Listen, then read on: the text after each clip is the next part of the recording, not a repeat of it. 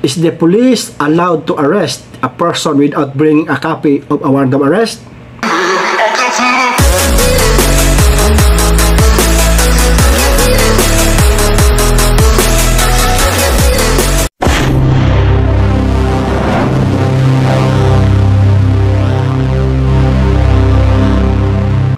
Yan po mga kabady ang ating pag-uusapan ngayon. Ano ba itong warrant of arrest? It is a written document issued by a court ordering any law enforcer to bring the person before the court so that he may be bound to answer for the commission of the offense. Ang ibig sabihin mga kabady, ang warrant of arrest ay isang order mula sa korte at pirmado ni judge at binigyan ng uh, authority ang mga kapulisan o mga other law enforcement officers na mag-aresto sa isang tao para sagutin ang isang reklamo. Ngayon, babasahin ko sa Revised Philippine National Police Operational Procedures Manual of 2021 kung allowed ba ang pulis mag-aresto na hindi dala ang kopya ng warrant of arrest. Under Chapter 3, Rule 2, 2.6.4 of the revised Philippine National Police Operational Procedures of 2021. Ito po ang nakasulat mga kabady. At the time of the arrest, it shall be the duty of the arresting officer to inform the person arrested of the cause of the arrest and the fact that a warrant had been issued for his or her arrest. The arresting officer need not have the warrant in his or her possession at the time of the arrest, but after the arrest, if the person arrested so requires, the warrant shall be shown to him or her as soon as possible. Yun po ang nakasulat sa PNP manual. So, ibig sabihin, from the word, the arresting officer need not have the warrant in his or her possession at the time of the arrest, but after the arrest, If the person arrested so requires, the warrant shall be shown to him or her as soon as possible. Ibig sabihin, ang ating mga kapulisan ay may karapatang umaresto sa isang tao kahit hindi dala ang kopya ng warrant of arrest na ini-issue ng korte. Pagkatapos arestuhin yung tao at gusto niya makita ang kopya ng warrant ay pwedeng bigyan o ipakita ang kopya ng warrant doon sa uh, taong inaresto. Yun po ang nakasulat sa PNP manual.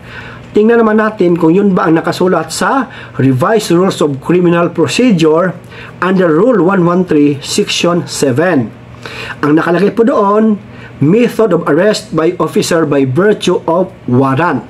Basahin ko po. When making an arrest by virtue of warrant, the officer shall inform the person to be arrested of the cause of the arrest and of the fact that a warrant has been issued for his arrest, except when he flees or possibly resists before the officer has opportunity to so inform him, or when the giving of such information will imperil the arrest. The officer need not have the warrant in his possession at the time of the arrest, but after the arrest, if the person arrested so requires, the warrant shall be shown to him as soon as practicable. So, wala pong pinagkaiba doon sa PNP manual at dito sa dito sa revised source of criminal procedure na pwedeng umaristo ang isang kapulisan no sa isang tao na may outstanding warrant kahit hindi niya dala yung kopya ng warrant of arrest Halimbawa, habang naglalakad si Corporal Juan de la Cruz, nakita niya si Pedro ay batumbakal na kumakain sa isang karinderya.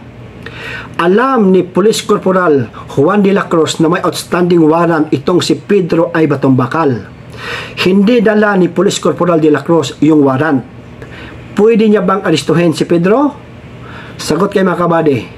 Ang sagot ay, pwedeng aristuhin ni Police Corporal Juan de la Cruz si Pedro ay matumbakal kasi meron siyang outstanding warrant of arrest. Even though, hindi dala ni Police Corporal yung kopya ng warrant of arrest, but may kopya naman yan sa police station, pwede niya pa rin hulihin si Pedro ay matumbakal.